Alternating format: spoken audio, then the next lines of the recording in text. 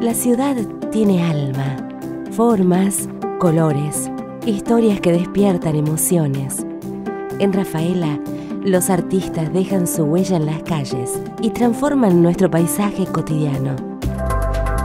Arte rafaelino a cielo abierto.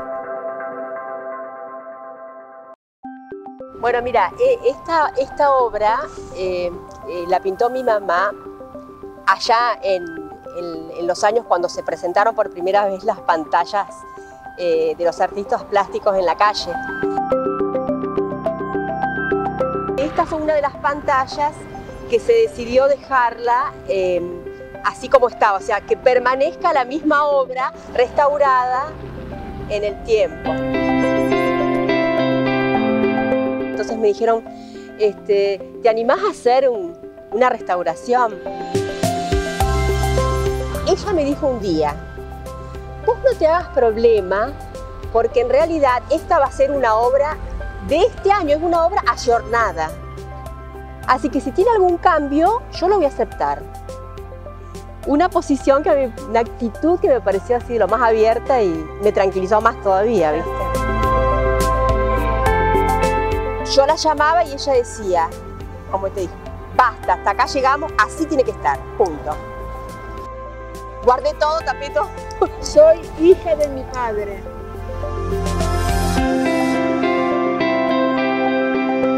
Y estoy eh, satisfecha de, que ella, mi hija, tenga los, los pasos que dio toda la familia. Porque ya venimos de mi padre, de mi de mi hermano, de mis... Todos, somos, todos tenemos arte por el medio. A este proyecto yo lo denominé cuando el amor vuela más alto que el arte. ¿Entendés? Con, con esa actitud me vine a pintar. Claro que sí. Me acuerdo de un señor que, había venido de Esquel, me dijo, que él dice, yo nunca vi una cosa igual. Dice, a mí Rafaela me sorprende por todos lados. Me dio la sensación de que el arte hacía al aire libre en las calles tiene fuerza para los rafaelinos y para cualquiera. Tiene fuerza porque está al alcance de todos.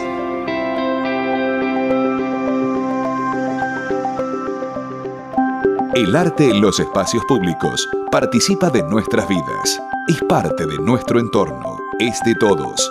Construyamos juntos una ciudad para vivirla. Secretaría de Cultura, Ciudad de Rafaela.